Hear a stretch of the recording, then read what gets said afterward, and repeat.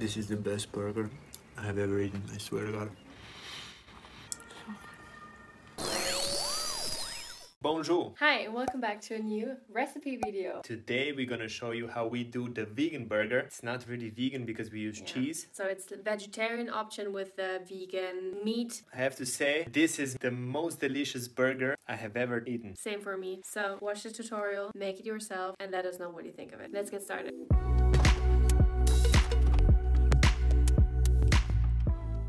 Okay, so first step of the burger, we're gonna do the special tomato sauce.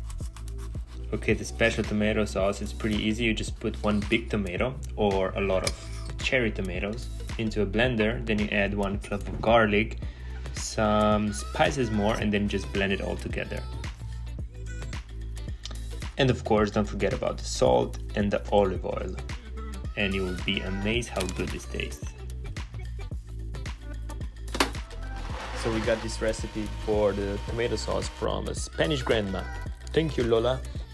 So now we're gonna do the guacamole. Holy guacamole. Oh, how perfect is this? Okay, smash the avocado with a fork. One clove of garlic.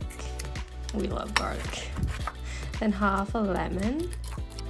And then some herbs, um, salt and pepper, some chili, and some olive oil. And that's actually it. These are two main ingredients for our burgers. This is homemade guacamole, like we said, and homemade tomato sauce. I think this tomato sauce is just really great because if you put like a small piece of tomato, when you bite in the burger, it just falls off. And this tastes so much more intense than a normal tomato. Then cut two slices of eggplant. But we tried out many cheeses, but this goat cheese, we think it's the best on the burger. So that's what we're gonna do. And that's why it's not vegan. Cut two slices of cheese per burger, you could say.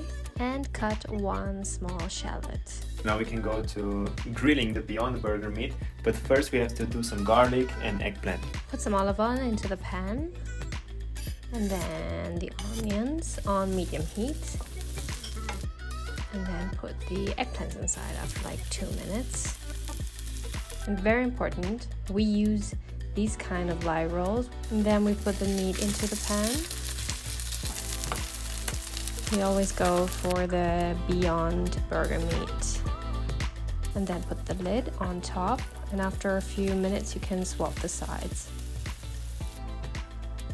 And then it's very important that you put the bread into the pan, close the lid, A really good thing about the Beyond Burger, it's not like meat, so you know you have to be really careful when you're doing meat that you don't overcook it or over grill it.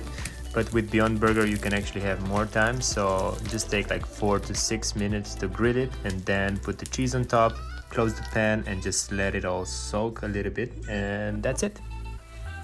Okay, so now we have to be fast. So first of all, bread, guacamole, lettuce, patty with cheese, eggplant, onion, and of course tomato sauce. And one more time, guacamole. Okay guys, this is the finished burger. We can't wait to eat it. It's the best. Alright, it's time to eat. Yes. This is the final version. I'm so hungry. We have some salad and couscous. Let's feast. This is the best burger I have ever eaten, I swear to God.